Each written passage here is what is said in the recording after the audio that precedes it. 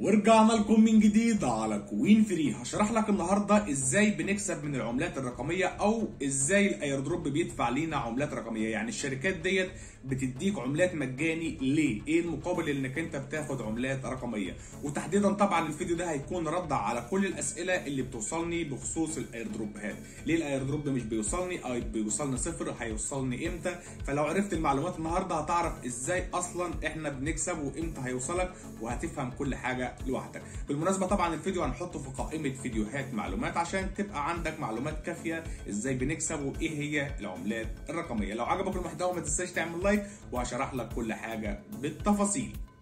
بص يا كبير هبسط لك كل حاجة طبعا زي ما انت متعود من عندنا على Coin Free تفهم كل حاجة في أقل من 3 دقائق عشان العملة تنزل أي عملة اختلاف طبعا البيتكوين والأيثيريوم والبي إن بي فإحنا ديت مش بنسميهم عملات دول بنسميهم بيت العملات. يعني البيت اللي خرج منه العملات الرقمية. أنا بتكلم على العملات الجديدة لو أنت بتفكر تعمل عملة منهم. أي عملة طبعا بتنزل السوق أو عشان تنزل السوق لازم تعدي على ثلاث مراحل. أول مرحلة طبعا بتكون مرحلة الإنشاء. بتنشئ طبعا هشرح لك كل حاجة بالتفاصيل. تاني مرحلة بتكون مرحلة الإدراج. وثالث مرحلة طبعا معانا بتكون مرحلة التوزيع. طيب أول الطريق بيكون مرحلة الإنشاء. عشان تنشئ أي عملة محتاج يكون عندك حاجتين. أول حاجة يكون عندك قاعدة بيانات أو تاني حاجة طبعا القائمين على العملة. قاعدة البيانات الناس اللي هي هتسجل في العملة اللي أنت هتاخدهم وتروح بيهم المرحلة الثانية اللي هي مرحلة الإدراج. هنحتاجها في المرحلة الثانية فمش عايزين نحرقها دلوقتي.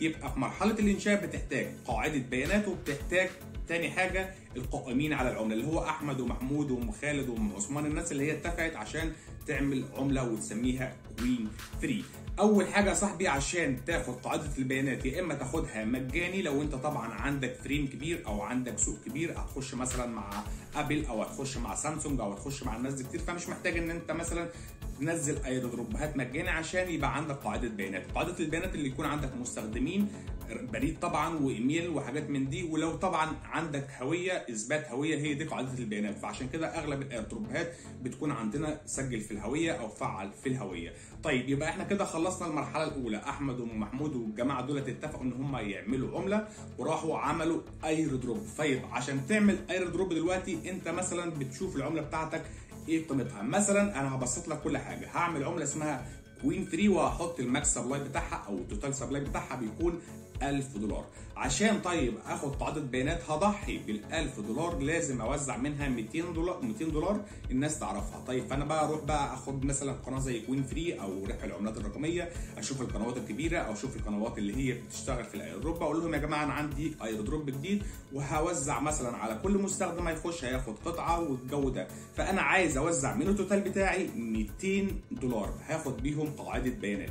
يبقى أنا دلوقتي عملت ال airdrop بتاعي الناس سجلت خدت قاعدة البيانات والقائمين على العملة يبقى إحنا كده معانا أول طريق اللي هو طريق إنشاء العملة.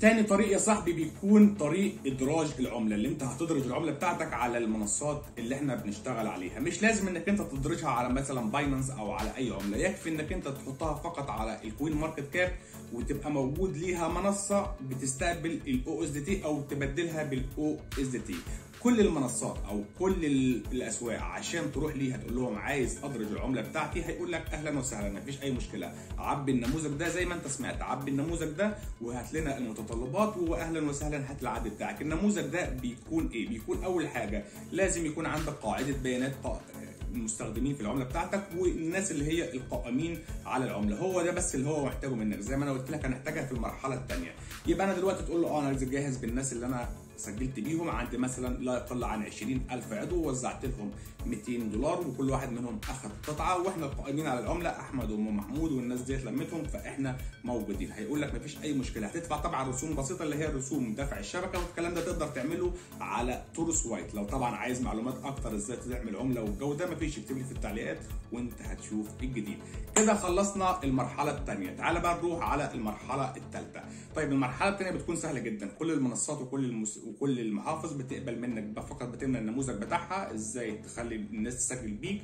وفي آخر حاجة اللي هو شرط القبول. يعني أنت زي مثلا بتقدم على عملة اللي هي بقى ناخدها في المرحلة الثالثه أنت طبعا لو أي منصة أو أي مكان قبلك قبل قاعدة الجماهير بتاعتك وقبل الناس القائمين على العملة. ماليش دعوة بقى بالعملة بتاعت إيه أو بتشتغل في إيه ماليش فيه. حتى لو سميتها إكس إكس ماليش فيه. أنت هات لي عملة وهات لي قاعدة بيانات وهنروح على على الخطوة الثالثه عشان المنصة تنزل لك العملة لازم تعدي على مرحلة النزول. وهنا بقى بيجي مرحلة توزيع العملة. والهنا يا صاحبي بنيجي لآخر الطريق. خلاص مرحلة نزول العملة. عشان أي منصة توافق عليك وتقول لك أوكي طبعا بتاخد منك البيانات وبتسجل لك العملة وبتكون فقط موافقة على كلمة بابليك أو تدوس عليها عشان تظهر عندك. عشان يظهر ده بتيجي مرحلة الإدراج أو مرحلة التداول. لازم يدوا لك شرط مثلا تداول أو اعمل تداول في العملة بتاعتك بيكون ب 200 دولار. فاكرين طبعا الشرط الأول اللي هو ال airdrop. بيجي بقى هنا وقت توزيع عملة اللي إحنا استلمناها يعني إحنا طبعا بنكون مسجلين في ال airdrop عندنا فطبعا الكلام ده اللي هو إدراج ومستخدمين وقاعدة بيانات ده الكلام ده بياخد وقت يا جماعة وشركات ومحاميين فلا يقل عن شهرين عشان العملة توصلك في قلب محفظتك. وقت التنزيل أو وقت الوصول مش عارف جت منين بنت اللذينة ديت لو جت تاني هقتلها مع اني قافل كل البيبان مش عارف بيجي إزاي. شكلها جت معايا من المهم وقت النزول يا زميلي مش عارف كنت آه وقت النزول لخبطت الدنيا كلها مش هamontage الحاجات ديت همشيها زي ما هي.